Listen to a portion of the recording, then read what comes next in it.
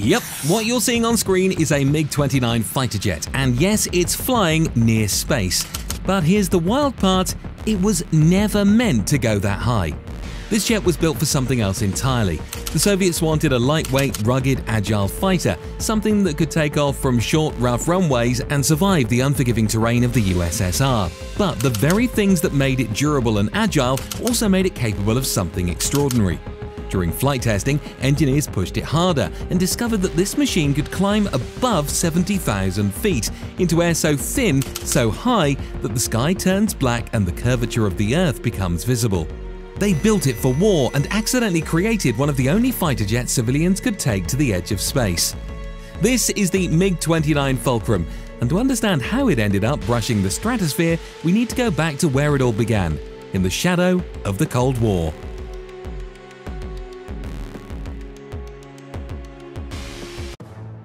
It all began in 1969 at the height of the Cold War when the Soviet General Staff issued a bold new requirement the development of an advanced frontline fighter, a next generation aircraft that could secure Soviet air superiority well into the 1980s and beyond. The motivation was clear. Intelligence reports have revealed that the United States was working on a pair of cutting-edge air superiority fighters, the McDonnell Douglas F-15 Eagle and a lightweight prototype called the YF-17, which would eventually evolve into the FA-18 Hornet. These programs were designed to give the US a commanding lead in future air combat. The Soviets could not afford to fall behind. If the Americans succeeded, they would control the skies in any future conflict, so the Soviet response came in the form of an ambitious project, Perspektivny Frontovoy Istrebitel, or literally the Advanced Frontline Fighter. The specifications were aggressive, a long-range interceptor with Mach 2 plus capability, heavy armament, short field performance, and extreme maneuverability to counter Western fighters in high-threat environments. But by the early 1970s, Soviet planners realized that one aircraft couldn't do everything. They needed not just one fighter, but a high-low mix, a heavy long-range interceptor to dominate open skies, and a smaller, cheaper, more agile aircraft to operate closer to the front lines and in large numbers. So, the PFI program was split. The heavier long-range role was handed to Sukhoi, resulting in the Su-27 flanker. In parallel, the Soviets launched a second program, Perspektivny Lyovkiv Frontovoy Istrebitel, or the Advanced Lightweight Tactical Fighter. It mirrored the US Air Force's own lightweight fighter program, which gave birth to the F-16 Fighting Falcon. The MiG Design Bureau, already famous for aircraft like the MiG-21 and MiG-25, was assigned the LPFI project. The result was the MiG-29 Fulcrum, a lightweight, agile and lethal dogfighter designed to complement the Su-27 and overwhelm NATO forces in contested airspace. By the time both aircraft entered service in the 1980s, their roles were clearly defined. The Su-27 would conduct deep air superiority missions, long-range sweeps to intercept NATO bombers and fighters before they reached Soviet territory. Meanwhile, the MiG-29 was intended to operate closer to the front lines, launching from shorter, more rugged airstrips, supporting ground forces and engaging enemy aircraft in fast, close-range combat. Together they formed the backbone of Soviet air power, a dual strike doctrine built around synergy, redundancy, and technological ambition. But the Fulcrum secret was real. The thing that let it climb so high wasn't in the mission brief, it was hidden in the engineering. So, what exactly allows this fighter jet to climb so high? The answer isn't just one secret trick, it's a combination of engineering choices each designed for a very different purpose to make the MiG-29 a fast, agile and survivable frontline fighter. Two features stand out above all others, its aerodynamic design and its engines. The MiG-29's wings are not pure deltas, but their shape borrows heavily from delta wing principles. Broad leading edges, sharp sweep angles, and blended roots that flow smoothly into the fuselage. This configuration gives the aircraft an excellent lift-to-drag ratio, which is critical for sustained maneuverability at high angles of attack. The twin vertical stabilizers are set far apart, mounted on booms that house the engines. That spacing isn't just for looks. The wide gap between the Klimov RD-33 engines creates a lifting body effect. The airflow between them generates additional lift, reducing wing loading and enhancing agility. This also makes the fulcrum more stable and controllable in the thin air above 60,000 feet, where most jets start to lose responsiveness. The second defining element is raw thrust.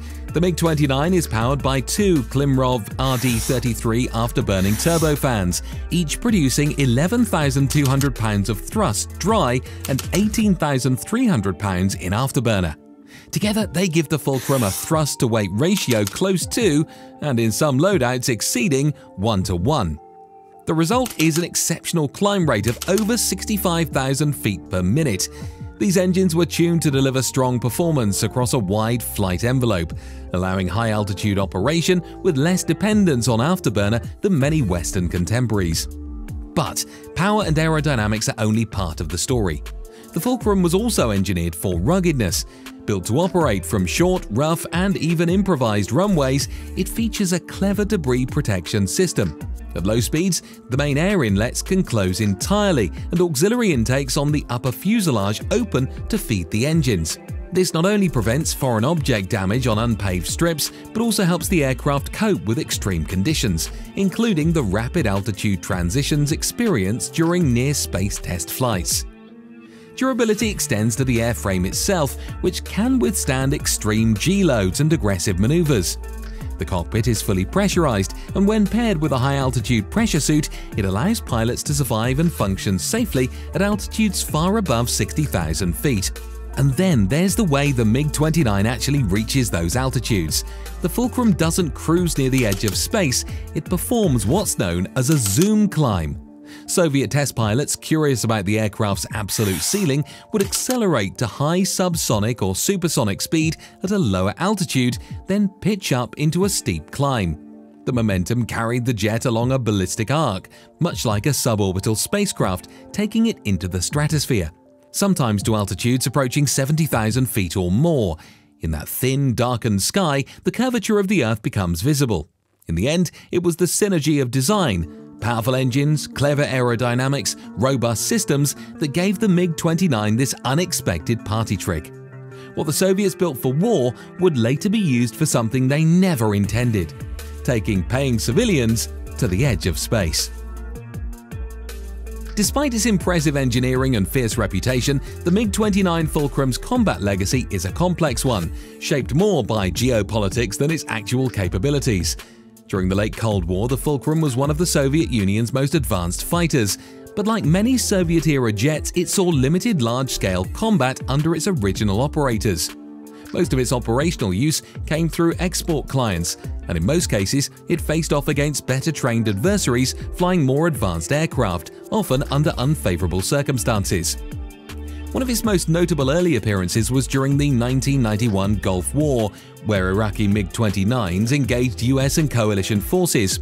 However, they were quickly outmatched by F-15s and FA-18s, often due to poor training, outdated radar and missile systems, and limited coordination, not necessarily because of inherent flaws in the MiG-29 itself. In these encounters, Western aircraft had the advantage of AWACS, superior tactics, and long-range engagement. The Fulcrum was also used by Yugoslavia during the NATO bombing campaign of 1999. Again, MiG-29s were swiftly neutralized, mostly by US F-15s and F-16s. Many of these aircraft were poorly maintained, lacked proper ECM systems, and flew in an environment saturated with NATO air power. Yet these lopsided encounters don't tell the full story. The Soviet Union itself used the MiG-29 during its occupation of Afghanistan in the 1980s. In this more controlled environment, the Fulcrum served effectively in an air defense role. One notable event occurred when four Afghan Air Force Su-22s detected and attempted to bomb Kabul. In response, Soviet MiG-29 scrambled and shot down all four intruders within minutes. A swift and brutal reminder of the Fulcrum's capabilities when flown under proper command with full support. Today, the MiG-29 remains in service with more than a dozen countries. Nations like India, Poland, Serbia and Ukraine have continued to upgrade and modernize their fleets, extending the aircraft's relevance well into the 21st century.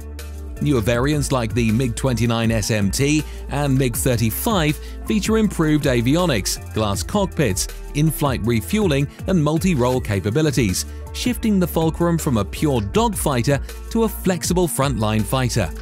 Even more importantly, the MiG-29 has become a symbol, a reminder of the Cold War arms race and the enduring legacy of Soviet airspace engineering.